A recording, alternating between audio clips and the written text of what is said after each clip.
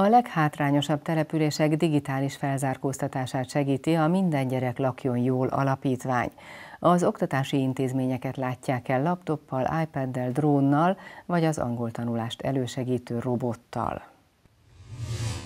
Hat településen indította el pilot programját a Minden gyerek lakjon jól alapítvány, egy szingapúri példa alapján, amelynek lényege, hogy nem információs tudást, hanem digitális alapképzést oktassanak az iskolában.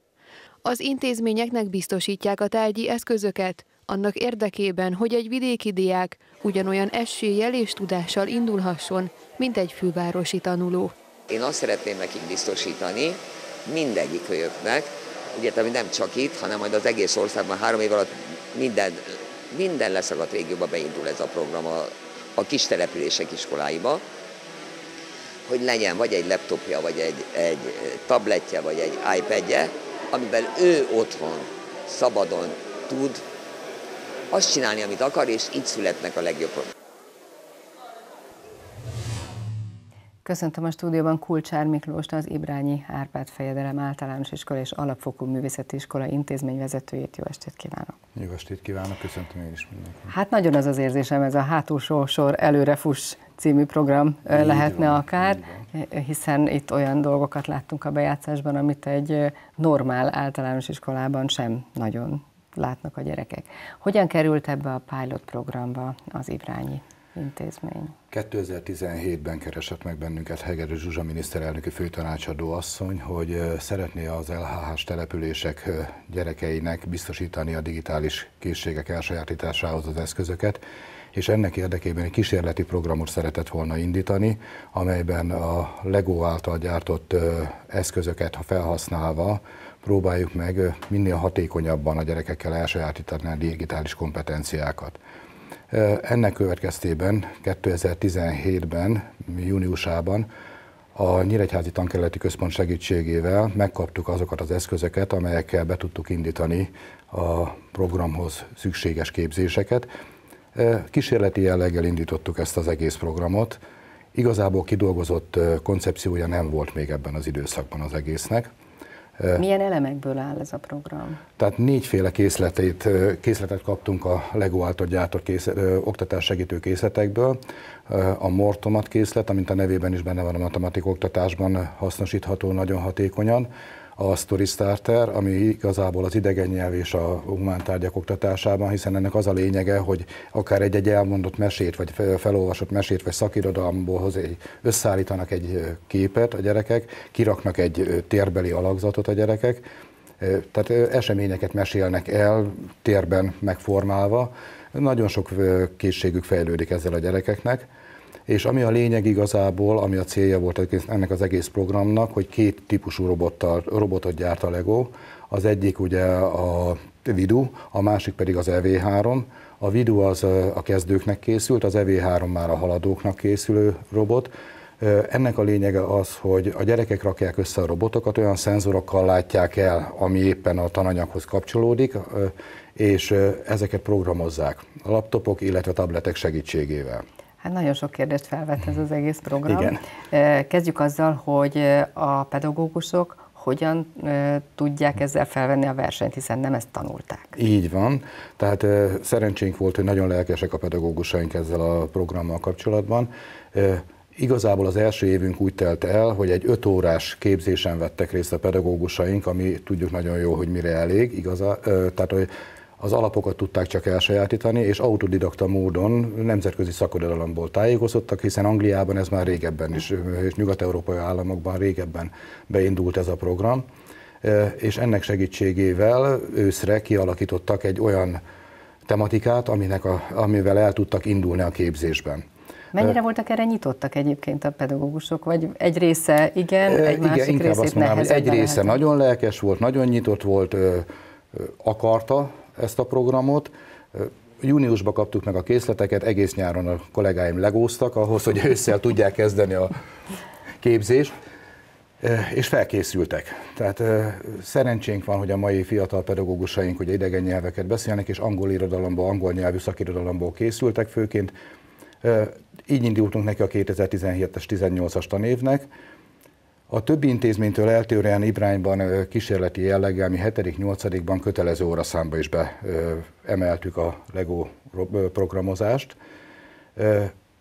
ami úgy tűnik, hogy hasznos volt, mert Hajnal Gabriella klikkelnek asszonyjal egyeztetve úgy néz ki, hogy az új NAD-ban nem informatika lesz, hanem információ technológia, aminek igazából ez része, részévé válhat.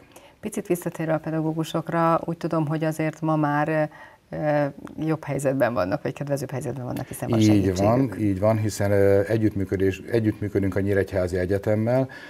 Az idén már egy 30 órás akreditált képzésen vettek részt a pedagógusaink, ahol a LEGO módszertannal ismerkedtek, a Vidó és az EV3 programozását ismerték meg, de, és mentorál tulajdonképpen bennünket a Nyíregyházi Egyetem ez a, a szakmailag, tehát módszertani, szakmai segítséget tőlük tudunk kérni most már.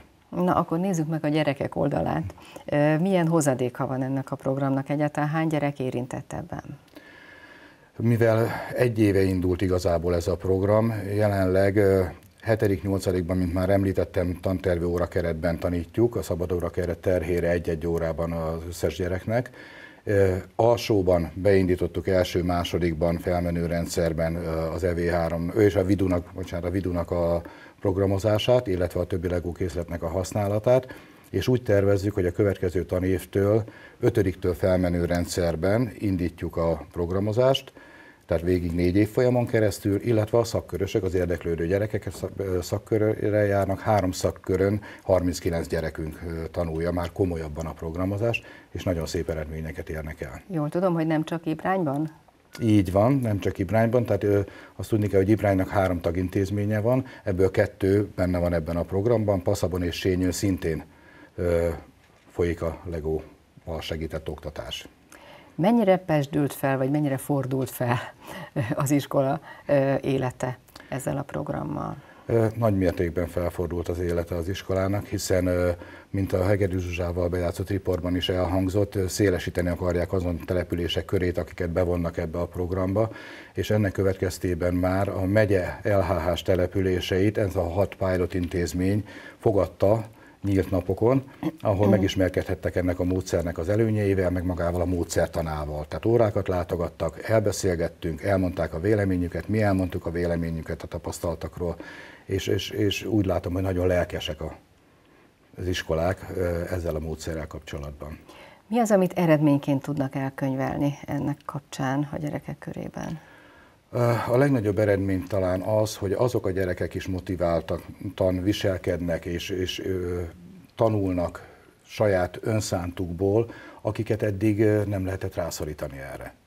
Tehát a motivációs bázis, a háttere nagyon erős ennek a módszernek, hiszen programozás során a gyerek azonnal letesztelheti az ő által elkészített programot, tehát látja a saját munkájának az eredményét. Ráadásul differenciálásra is nagyon alkalmas a módszer, hiszen minden gyerek olyan szintű feladatot fog kapni, amit ő képes el is végezni. Milyen készségeket fejleszt? ez a program. Tehát a digitális készségeken kívül, ugye főleg az alsó tagozatban nagyon nagy szükség van a finom motorikának a fejlesztésére, hisz a mai gyerekek keveset rajzolnak, keveset manipulálnak a kezükkel, és ez az írástanulásnál nagyon nagy előny, hogyha a finom motorikájuk fejlődik, ehhez nagyon alkalmas a Lego.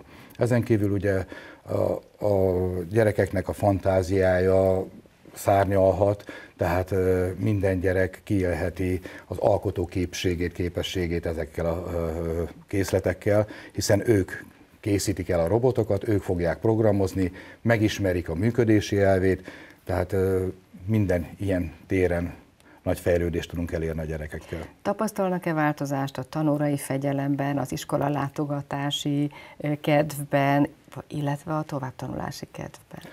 Igen, tehát a legnagyobb előnye a programnak, ahogy az egyik kollégám, aki alkalmazza, mondta, hogy, hogy nincs fegyelmezési probléma a tanórákon. Tehát ezen azért egy LHH-s településeken, ahol a tanulói összetétel olyan, hogy a motivációval probléma van, ez nagyon nagy előny.